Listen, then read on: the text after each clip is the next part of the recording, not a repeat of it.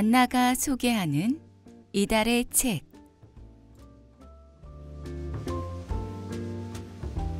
안녕하세요. 안나입니다.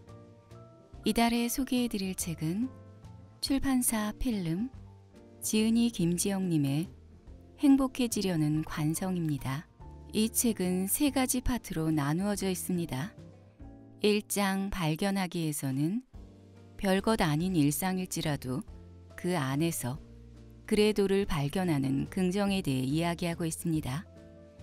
2장 정의하기에서는 타인이나 세상의 기준보다는 스스로에 대한 끊임없는 질문과 탐구를 통해 내 식대로의 행복을 정의하는 과정을 담고 있으며 3장 유지하기에서는 끊임없는 단련을 통해 바로 지금 여기서 단단한 행복을 유지함으로써 마침내 새겨지는 행복해지려는 관성을 말하고 있습니다. 제가 이 책을 읽으면서 잠깐 멈추고 생각해야 했던 부분이 있습니다. 이 책 안에는 나만의 행복을 발견하고 유지하는 관성을 구축해 나가기 위한 연습장이 마련되어 있습니다. 책 중간중간에 나에게 하는 질문들이 있습니다. 예를 들면 어떤 작가를 좋아하나요? 좋아하는 여행지는 어디인가요? 울적할 땐 무엇을 하나요? 이런 질문들이 빈 여백과 함께 준비되어 있습니다. 생각지도 못했던 질문을 맞이하자 잠깐 당황스럽기도 했지만 나에 대해 생각할 수 있는 좋은 시간이었습니다. 이 책을 읽으면서 천천히, 가만히 나의 행복에 대해서 생각해 봤습니다. 그럼 출판사 필름 지은이 김지영 작가의 행복해지려는 관성 일부분을 낭독해 드리겠습니다.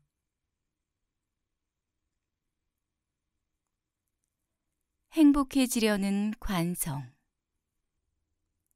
각자의 계절 꽃샘 추위가 채 가시지 않은 4월 중순 이맘때 지하철을 타면 아주 흥미로운 광경을 볼 수 있다. 니트에 얇은 패딩까지 덧입은 사람과 반팔 입은 사람이 나란히 앉아 있는 모습. 분명 같은 시공간임에도 두 개의 계절이 나란히 앉아 있는 모습. 그 와중에 나는 꿋꿋이 패딩을 챙겨 입은 이의 용기에 박수를 보낸다. 추위를 많이 타는 편이다. 절기상으로는 분명 봄인데 여전히 한기가 느껴지는 시기. 출근을 준비할 때면 옷장 앞에서 고민에 빠진다. 외투들을 훑어보고 집어드는 짧은 시간 동안 육체의 안녕과 마음의 평안이라는 두 욕구 간 작은 교전이 벌어진다. 통상 승기를 잡은 것은 후자이다.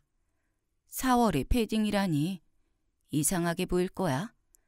점심 먹으러 나갈 때 회사 사람들이 한마디씩 하겠지? 따위의 염려들이 추동하고 에이 오늘은 괜찮겠지 뭐 하는 낙관이 쐐기를 박는다. 패딩으로 향하는 손을 거두고 얇은 재킷을 챙겨 입는다. 하지만 싸늘한 바깥 공기를 마주하는 순간 여지없이 후회하고 마는 것이다. 종일 벌벌 떨다가 결국 다음 날 몸져 누운 적이 한두 번이 아니다. 몸서 체득한 이 단순한 진리를 나는 거의 매번 망각한다. 바들바들 떨 때만 해도 두 번 다시는 같은 실수를 반복하지 않으리라 다짐하고 막상 선택의 순간이 되면 그래도 그건 좀 하며 남 눈치를 보는 것이다. 고작 외투 하나 고르는 일이 이렇다. 누구에게나 각자의 계절이 있다.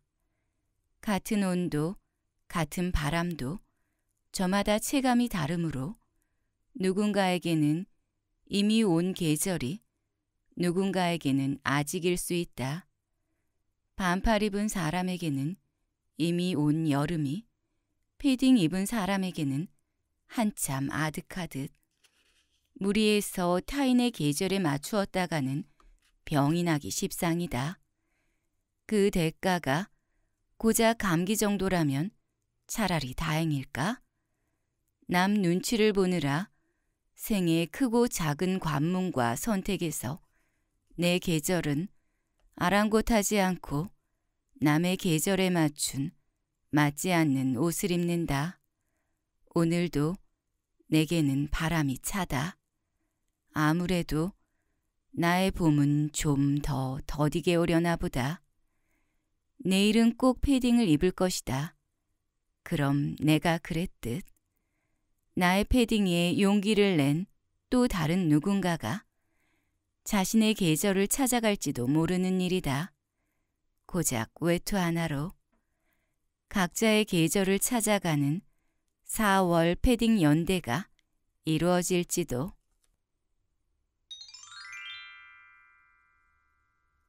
시간에도 여백이 필요하다. 출근길 신호등이 깜빡이자 모두가 일제히 전력 질주를 시작한다. 아주 지각한 것만 아니라면 나는 되도록 뛰지 않는 편을 택한다. 신호등을 기다리는 2분 남짓한 허락된 무료함을 좋아하기 때문이다. 마찬가지로 버스를 타고 이동하는 것 또한 좋아한다. 이동 시간이 길면 길수록 좋다. 차창 밖으로 흩어지는 풍경을 눈에 담으며 죄책감 없이 낭비할 수 있는 시간을 즐긴다. 이는 대부분의 시간 동안은 그러지 못한다는 방증이기도 하다. 이제는 제법 유명해진 멍때리기 대회라는 게 있다. 현대인의 뇌를 쉬게 하자는 의도로 2014년 서울 광장에서 처음으로 열렸다. 규칙은 간단하다. 아무것도 하지 않고 멍한 상태를 오래 유지하는 것. 참가자들은 심박 측정기를 지닌 채 3시간 동안 말을 하거나 움직일 수 없는 것은 물론 음악을 듣거나 시간을 확인할 수도 없다. 잠깐이라도 좋을 경우 가차없이 탈락이다. 처음엔 다들 뭐 이런 대회가 다 있나 의아해했지만 점차 취지에 공감하는 모습이다. 현대인은 대개 시간 효율 강박에 시달린다. 새롭지 않은 사실이다. 동서고금을 막론하고 강요되어 온 시간 절약의 미덕 탓이다. 20대의 내 다이어리 첫 장에도 늘 시간이 없어 무언가를 못하는 사람은 시간이 있어도 아무것도 못하는 사람이다. 라는 어디에서 들었는지도 모르는 경구가 적혀 있었다. 아무것도 하지 않고 보내는 비생산적인 시간. 빈둥거리는 시간은 나태 무능의 상징으로 여겨졌다. 스티브 잡스를 필두로 창의 인재가 각광받는 시대에 이르러서야 뒤늦게 적절한 휴식의 중요성을 설파하는 책이 한동안 서점가를 휩쓸기도 했지만 쉼조차 to-do list를 작성하는 것이 여전한 현실이다. 특히 요즘에는 이러한 강박이 콘텐츠 소비 문화와 맞물려 새로운 양태로 펼쳐진다.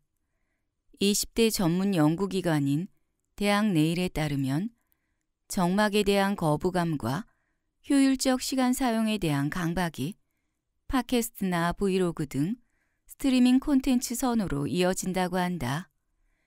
빈 시간을 빈 상태로 남겨두지 못하고 무언가를 듣거나 보면서 여백을 지운다. 밥을 먹거나 길을 걸으면서도 콘텐츠를 소비하는 바야흐로 멀티태스킹의 일상화다. 가장 최근 무료함을 느껴본 게 언제일까? 대부분이 재미없는 영화를 봤을 때 정도일 것이다. 우리는 항상 무언가를 하고 채워지지 못한 시간, 이름 붙지 못한 하루에 죄의식을 가진다. 가끔은 용도 없는 시간도 필요하다. 죄책감 없이 낭비할 수 있는 그런 시간 말이다.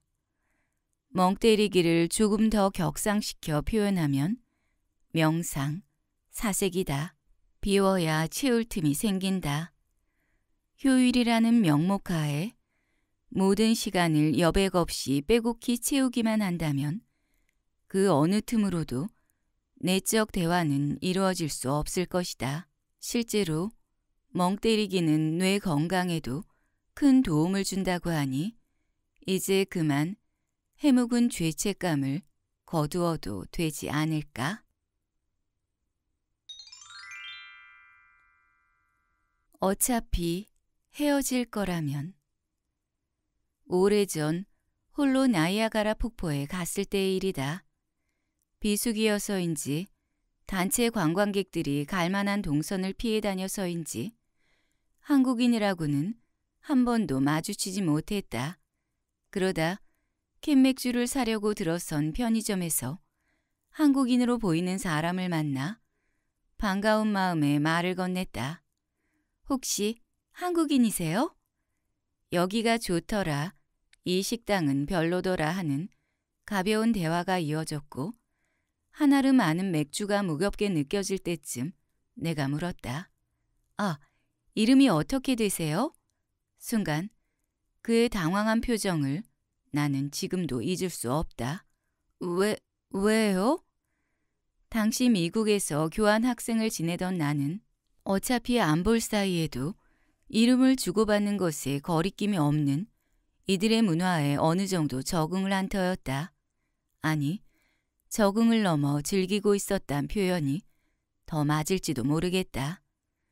때로는 가식일지언정 미소 띤 얼굴로 주고받는 안부가 좋았고 생명부지 타인의 이름과 일상을 궁금해할 수 있는 여유는 더 좋았다. 같은 버스를 기다리며 지하철 옆자리에 앉아서 의도 없이 공유했던 찰나의 시간들은 진화와 큰 추억이 되었다. 그러나 한국인의 정서에는 오늘은커녕 지금 보고 말 사이에 이름을 묻는 것이 다소 공포스럽게 느껴졌으리라. 한국 사회에서 통성명이란 것은 그런 것이었다.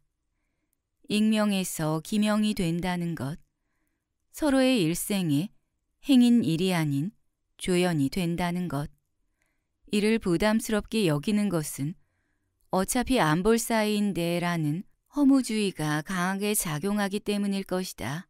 인연의 길이 내지는 필요로 통성명의 여부, 추억화의 자격을 재단한다. 사실 나도 그러한 허무주의에 빠져 지냈던 시기가 있다. 게스트하우스를 전전하던 배낭여행 시절, 만남과 헤어짐을 반복하다 보니 언제부턴가는 이름을 묻는 것조차 소모적으로 느껴졌다. 어느 날부터 인사 외의 소통을 일절 그만두었다. 어차피 헤어질 사이니까. 그 편이 효율적이라고 생각했다. 그리하여 그 여행이 보다 만족스러워졌느냐 하면 전혀 아니었다. 관광지 한두 곳을 더 봤을지언정 도시 자체는 색깔 없이 남았다. 마음을 효율적으로 쓴다는 것이 그만 문을 닫아버린 것이었다. 다친 마음으로는 그 어떤 감동도 흐를 수 없었다. 여행이 삶의 환유라면 인생 또한 크게 다르지 않을 것이다. 모든 인연은 헤어짐을 전제로 한다. 다만 그 길이와 밀도가 다를 뿐 때문에 어차피 헤어질 건데 라는 말은 사실 모든 인연에 해당되는 숙명과도 같다. 어차피 헤어질 인연이니 마음을 내어주지 않겠다는 것. 추억으로서의 가치가 없다는 것은 삶 전반에 대한 태도의 다름 아니다. 생의 끝자락에서 바라보는 추억의 가치는 시간의 길이에 비례하지 않을지도 모른다. 기욤 미소의 동명 소설을 원작으로 한 영화 당신 거기 있어 줄래요에 이런 대사가 나온다. 아빠, 만약에 보고 싶은 사람이 있는데 그 사람을 볼 수 없을 땐 어떻게 해야 돼? 행복했던 때를 생각해 그 사람하고 가장 행복했던 순간 그 기억만으로도 사라져.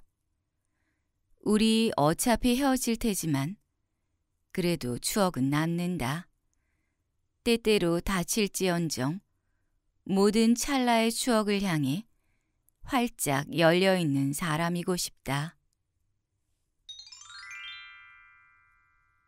그냥 내일 뛰면 안 되는 걸까? 생생히 기억한다. 초등학교 시절 내리쬐는 떼약볕 아래 흙먼지 날리는 운동장. 하얗게 그어진 출발선 뒤에서 준비 소리에 맞춰 자세를 취할 때의 긴장감. 두 손으로 땅을 짚고 엉덩이를 치켜든 채로 출발 신호를 기다리는 1, 2초 남짓한 그 시간이 나는 유난히도 싫었다. 그렇다고 달리기를 못하냐고 하면 딱히 그런 것도 아니었다. 다만 모두가 똑같은 자세를 취하고 출발이라는 호령 소리를 기다리고 있을 때 그 긴장감이 죽도록 싫었을 뿐이다. 긴장을 잘하는 편이다. 많은 이들이 그랬겠지만 고3 때는 소화 장애까지 걸렸다. 수능이라는 단어를 떠올리는 것만으로도 숨이 턱 막혀 뭘 먹어도 채기가 올라왔다. 취업 준비생 때는 면접을 앞두고 남몰래 엉엉 울어버린 적도 있다. 막상 면접장에 들어가면 그렇게 떠는 편도 아닌데 대기할 때의 그 긴장감만 생각하면 속이 울렁거렸다. 하다못해 어학 시험만 해도 마찬가지. 고사장, 수험표, OMR 카드, 시험지 넘기는 소리는 늘 나를 도망가고 싶게 만들었다. 긴장을 잘하는 사람이 안 그래도 긴장도가 높은 한국 사회에서 살아가기란 여간 어려운 일이 아니다. 그나마 의식적으로라도 긴장감에 익숙해지려고 노력해온 덕에 그럭저럭 잘 살아내고 있다. 김연아 선수의 너무 많이 연습해서 하나도 안 떨려요 라는 말을 바이블 삼아 스스로의 노력을 탓하며 일부러 더 자주, 많이 출발선 위에 나를 세웠다. 때때로 매일 오늘 몫의 출발선 위에 서 있다는 생각이 들 때가 있다. 출발 신호에 맞춰 전력 질주하지 않으면 낙오될지도 모르는 크게는 입시, 취업, 이직, 출세와 같은 굵직굵직한 것들이 있을 것이고 작게는 오늘 당장 출근이 그렇다. 매일 아침 문을 열고 집을 나서는 순간 우리의 전력 질주는 시작된다. 이따금 도망치고 싶지만 묵묵히 전진하는 이유는 트랙을 이탈하는데 어쩌면 더 많은 용기가 필요하기 때문일 것이다. 간혹 지칠 때에는 퇴근길 서점을 산책한다. 요즘 인기 있다는 책들의 표지를 하나하나 읽는 것만으로도 제법 위안이 된다. 하마터면 열심히 살 뻔했다. 오늘은 이만 좀 쉴게요. 게으른 게 아니라 충전 중입니다. 하고 싶은 대로 살아도 괜찮아. 등 유행처럼 쏟아지는 힐링 에세이들이 대체로 예상 가능한 내용임에도 불구하고 2030 독자들을 중심으로 날개 돋친 듯 팔려나가는 것은 그만큼 이 뻔한 위로와 울림이 간절했다는 방증일 것이다.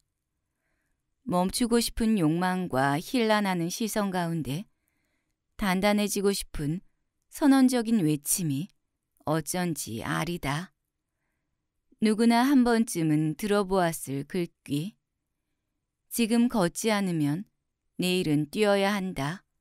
주로 교실 급훈으로 자주 등장하고 나 역시 몇 번이고 책상머리에 붙여놓았다. 당시에는 명언이라고 고개를 주걱거렸는데 다시 보니 조금 이상하다. 그냥 내일 뛰면 안 되는 걸까? 내일 뛰더라도 오늘은 멈춰 쉬고 싶은 날이 있다. 매일 쉬지 않고 걷는 삶과 가끔 뛰더라도 종종 멈추어 쉬는 삶. 옳고 그름의 문제가 아니었다. 선택의 문제일 뿐. 그러니 오늘이 혹시 그런 날이라면 오늘 당신 잠시 쉬어가도 괜찮다. 이마, 겐지스를 건너시오. 와버렸어. 몇 해 전 인도 여행을 다녀왔다. 희롱과 거짓말이 판친다는 이야기만 믿고 죽어도 인도만큼은 가지 않으리 다짐했던 날들도 있었다. 하지만 어쩐지 알고 싶고 이해하고 싶은 땅으로 마음 한편엔 줄곧 남아있던 모양이었다. 한 나라를 온전히 받아들이고 오기에는 턱없이 부족한 시간이었지만 겐지스 강에서 보낸 며칠은 나로 하여금 어렴풋하게나마 인도인들의 삶을 들여다보게 했다. 관광객으로서 겐지스 강에 머물며 꼭 해야 하는 일이란 것은 썩 많지 않다. 기껏해야 낡은 나무 보트를 타고 꽃초인 디아를 띄우면서 소원을 빌거나 힌두교 의식인 푸자를 보거나 화장터를 구경하는 것 정도 여행자로서의 미션을 완수한 이튿날부터는 아침 저녁으로 보트를 타고 일출일모를 보는 것이 유일한 일이라면 일이었다. 운 좋게 한국어를 유창하게 구사하는 보트맨 철수를 만났다. 그의 말에 의하면 인도인들은 시바신의 머리에서 뻗어나온 성스러운 강물로 영혼이 속죄받아 윤회의 고통에서 벗어나기를 기원한다고 했다.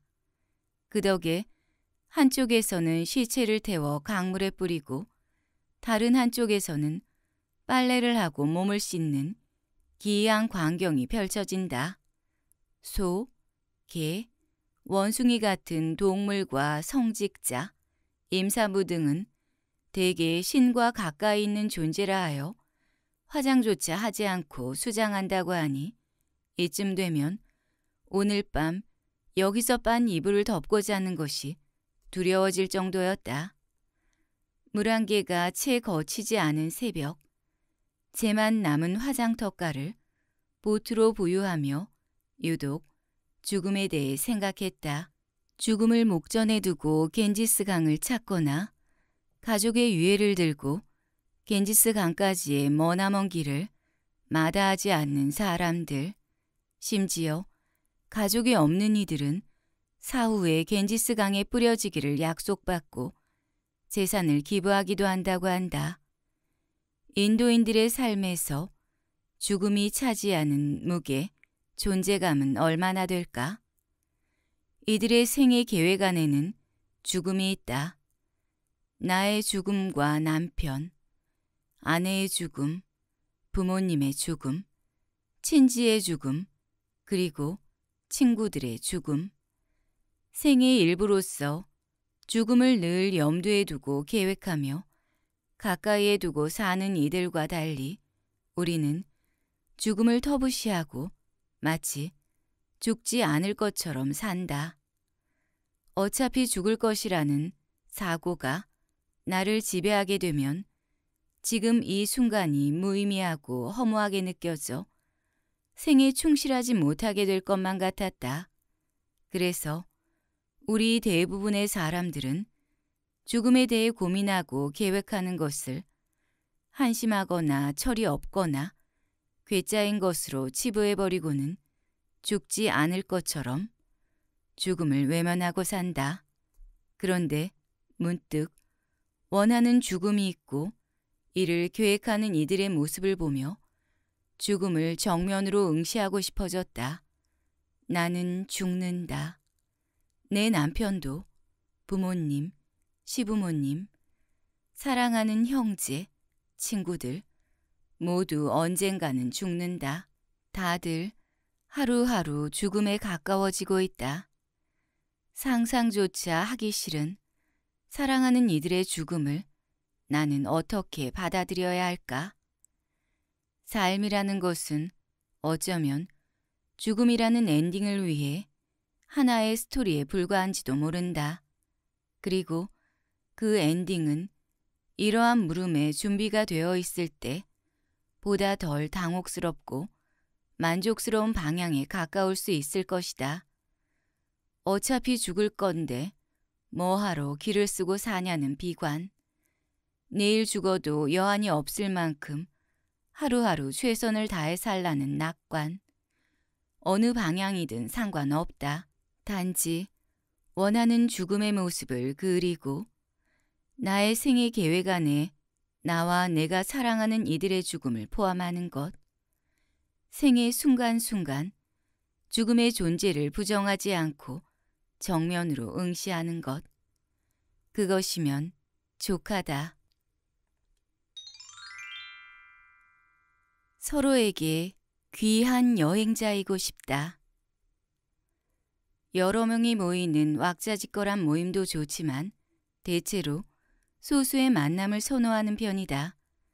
많은 사람이 이야기를 나누다 보면 아무래도 깊이 있는 대화보다는 시시껄렁한 농담이나 연예인 가십, 밥벌이의 고단함이 이야기의 줄을 이루게 되기 때문이다.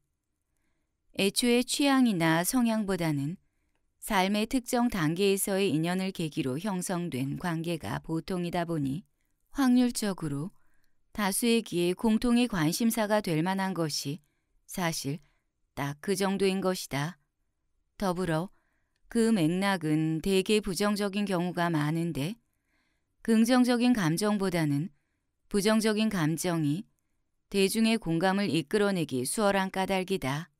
가령 남편이나 상사에 대한 감사나 칭찬보다는 불평이나 험담이 더 흥미로운 대화 소재로 인정받는다. 사정이 이러하니 시끌벅적한 모임을 마치고 집으로 돌아가는 길이면 몇 시간을 한참 떠들어 놓고도 그래서 오늘 무슨 얘기를 했더라? 싶을 때가 종종 있다. 사실 그 정도면 다행이고 가끔은 왜 그렇게까지 부정적으로 말했을까? 후회할 때도 있다.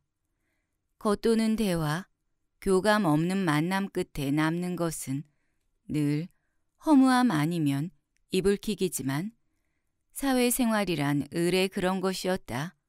물론 이는 만나는 인원수에 비례하는 것만은 아니어서 더러는 인원이 적더라도 비슷한 느낌을 받을 때도 있었다. 하지만 안타깝게도 그 역의 경우 인원이 많더라도 양질의 대화를 경험하는 좀처럼 성립되지 않았다. 그러던 중 독서 모임을 시작했다. 다양한 주제가 있지만 주로 생업인 마케팅을 주제로 한 모임에 나갔다.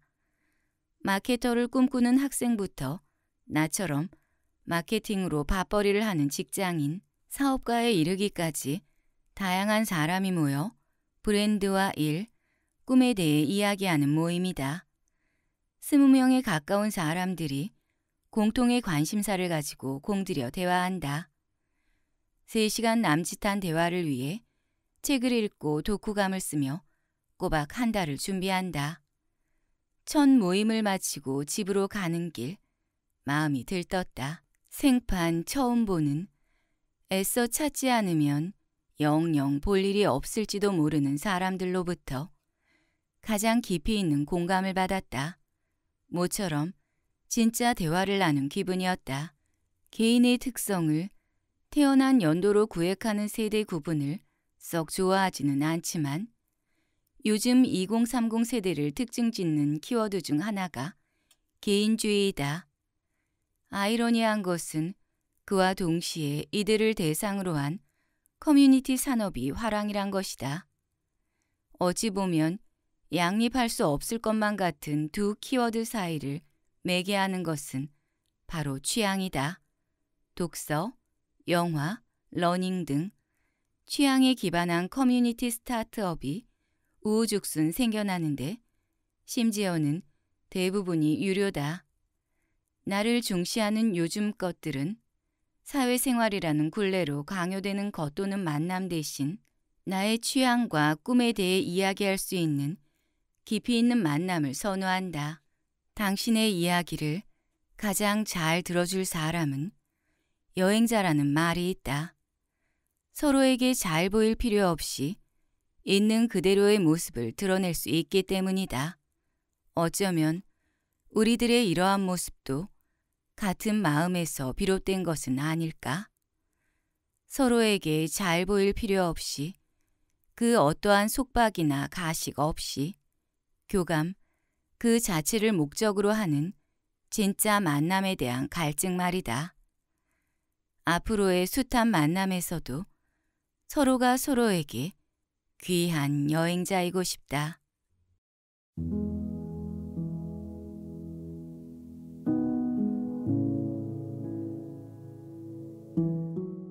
잘 들으셨나요? 그러시다면 구독과 좋아요, 알림 설정 부탁드립니다. 저는 책 읽어주는 안나였습니다. 감사합니다.